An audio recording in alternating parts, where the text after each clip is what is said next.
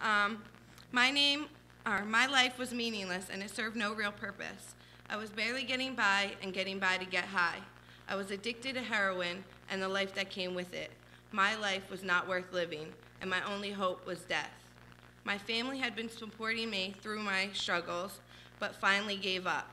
They had paid for my last rehab in Florida, and when I got kicked out, they were done.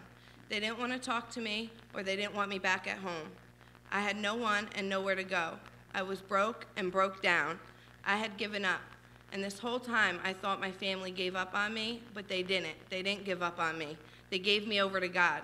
They prayed for my salvation, and they prayed for His will to be done in my life. They prayed for a change in my heart, and they prayed for my life to be changed. God does answer prayer. My name is Alissa, and on July 22, 2009, I prayed to Jesus asking for my salvation. On July 22, 2009, I was saved. I made a covenant between me and God for His will to be done in my life. I signed that covenant with the Women's Discipleship House here at Building on the Rock, and my heart was changed. Prayer brought me here, prayer saved me, and prayer has changed my life. Now, prayer is my primary work.